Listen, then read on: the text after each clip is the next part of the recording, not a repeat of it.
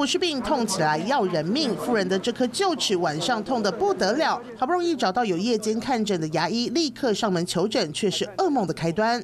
骨粉啊，胶原蛋白啊，就是用的那些量，但我们当下并没有办法知道说为什么是这样。他是以为他在跟你聊天，没有要真的用。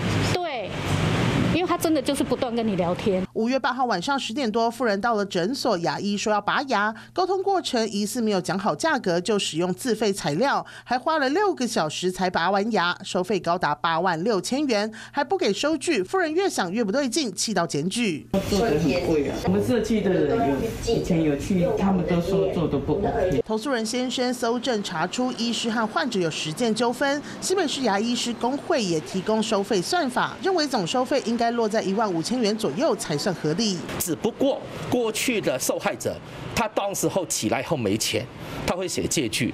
后来了，这些受害者都不理他，觉得被骗了嘛。结果因为有这个借据，所以他从小额的那个钱债去追讨，他都成功。诊所被卫生局认定是超额收费，行政裁罚五万元，超收的部分也要退款。该诊所呢，呃，认为他有呃提一些意见。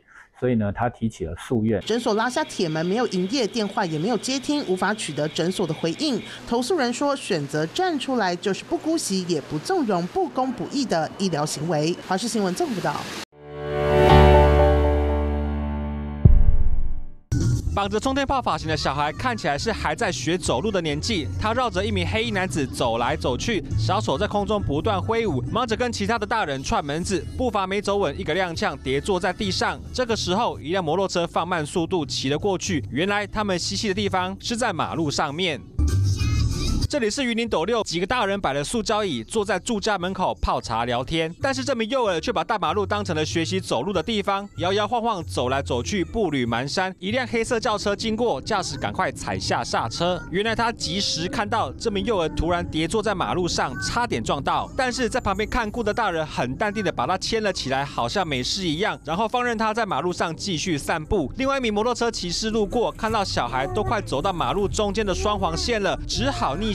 绕了过去，现场是险象环生，目击的民众觉得相当的傻眼，觉得很危险。那因为这看起来就是可能一岁或者不到一岁当学步这样子，如果汽车驾驶死角没看到，那这样真的遗憾终生，这太危险了。警方提醒，行人在马路上任意奔跑妨害交通的话，将会被罚款。如果是小孩子违规，还会开罚家长。啊，依照道路交通管理处罚条例啊，处罚新台币五百元罚款。未满十四岁之人违反本条例呢，将处罚其代理人及监护人。大人没有危机感，把幼儿置身在危险的环境当中，还好没有发生意外，否则后果将不堪设想。华视新闻林先锋、洪林辉、吴建宏，与您报。